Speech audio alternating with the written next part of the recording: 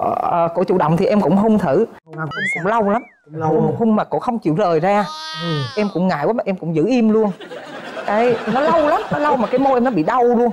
Nó có lần thứ ba thì em nói là thích người ta mà không dám nói không dám nói thôi tôi đi tôi nói luôn. Em nói ông có người yêu chưa? Ông nói chưa chưa thì thử quen tôi đi được thì cưới không được thì thôi.